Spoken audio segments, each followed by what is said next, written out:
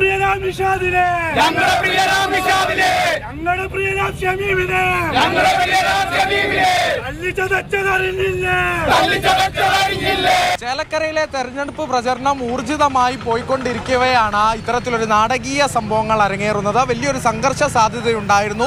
എന്നാലും ഈ ഒരു നിമിഷം സമരമെല്ലാം പിൻവലിച്ച് യു പ്രവർത്തകരും പോകാൻ തയ്യാറായിരിക്കുന്നു എന്നുള്ളത് തന്നെയാണ്. വൈകിട്ട് നാലരയോടുകൂടിയാണ് ഈ സംഭവങ്ങളുടെ എല്ലാം തുടക്കം. യു പ്രവർത്തകർ ഒരു പ്രതിഷേധം പ്രഖ്യാപിച്ചിരുന്നു. ആ പ്രതിഷേധത്തിനെത്തിയ പ്രവർത്തകരെ സി പഞ്ചായത്ത് പ്രസിഡന്റിന്റെ നേതൃത്വത്തിൽ മർദ്ദിച്ചു എന്നാരോപിച്ചാണ് യു പ്രവർത്തകർ ഈ ചെറുതുരുത്തി പോലീസ് സ്റ്റേഷന് മുന്നിൽ പ്രതിഷേധമിരുന്നത്. അതിനിടെ എൽ ഡി എഫ് മാർച്ച് കടന്നു പോവുകയുണ്ടായി. പോലീസും സി എസ് എഫ് പ്രവർത്തകരും ചേർന്ന ഇവർക്ക് നടുവിലായി നിലയുറപ്പിച്ചുകൊണ്ടായിരുന്നു ആ ഒരു സാഹചര്യത്തെ കൈകാര്യം ചെയ്തത്. അത്തരത്തിൽ എന്ത് ആവശ്യത്തിന്മേലാണ് എന്ത് ആവശ്യങ്ങളായിരുന്നു കോൺഗ്രസ് ഉന്നയിച്ചത്?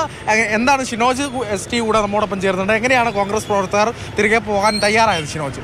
പ്രധാനമായി രണ്ട് ആവശ്യങ്ങളാണ് ഈ സമരത്തിൽ കോൺഗ്രസ് മുന്നോട്ട് വെച്ചത്. അത് ഒന്നാമത്തേതെന്ന് പറഞ്ഞാൽ ഇത്തരത്തിൽ മർദ്ദനം നടന്ന സമയത്ത് അവിടെ അതിന് സമീപത്ത് ഒരു സി സി ടി കടയുണ്ടായിരുന്നു ഹോട്ടലുണ്ടായിരുന്നു. ആ കടയിൽ നിന്നുള്ള സി സി ടി ദൃശ്യങ്ങൾ പരിശോധിച്ച് ഈ മർദ്ദനം നടത്തിയ ആളുകൾക്കെതിരെ നടപടിയെടുക്കണം ഏകദേശം ഇരുപതോളം വരുന്ന സി പി എം പ്രവർത്തകർ നേരത്തെ ഈ രണ്ട് യൂത്ത് കോൺഗ്രസ് പ്രവർത്തകരെ മർദ്ദിച്ചു എന്നാണ് ഈ പോലീ കോൺഗ്രസിന്റെ ആരോ പരാതിയിൽ പറയുന്നത്. ഈ ഇരുപതോളം വരുന്ന സി പി എം പ്രവർത്തകർക്കെതിരെ നടപടിയെടുക്കണമെന്നായിരുന്നു കോൺഗ്രസിന്റെ പ്രധാനപ്പെട്ട ആവശ്യം. മറ്റൊന്ന് ഈ ചെറുതുരുത്ത് സി ഐ അദ്ദേഹത്തിനെതിരെ ഈ തെരഞ്ഞെടുപ്പ് കഴിയുന്നവരെ സ്ഥലം മാറ്റണം. ഈ രണ്ട് ആവശ്യങ്ങളുമായിരുന്നു കോൺഗ്രസ് ഈ വിഷയത്തിൽ പ്രധാനമായി മുന്നോട്ട് വെച്ചിരുന്നത്. എന്തായാലും ഈ രണ്ട് വിഷയങ്ങളും അകത്ത് നടന്ന ചർച്ചയിൽ ടി എൻ പ്രതാപൻ അതുപോലെ തന്നെ അനിലക്കര ഉൾപ്പെടെയുള്ള നേതാക്കൾ പോലീസുമായി ചർച്ച നടത്തി. ആ പോലീസ് നടത്തിയ ചർച്ചയിൽ എ സി പിയുമായി ബന്ധപ്പെട്ട ഇത് ഇതിന്മേൽ ഈ ആവശ്യങ്ങളിന്മേൽ നടപടികൾ സ്വീകരിക്കാമെന്ന് എ സി പി ഉറപ്പ് നൽകിയിട്ടുണ്ട്. ഈ ഉറപ്പിന്മേലാണ് നിലവിൽ ഈ പ്രവർത്തകർ കോൺഗ്രസ് പ്രവർത്തകർ ഇവിടെ നിന്ന് പിരിഞ്ഞു പോകാൻ നിലവിൽ തയ്യാറായിരിക്കുന്നത്.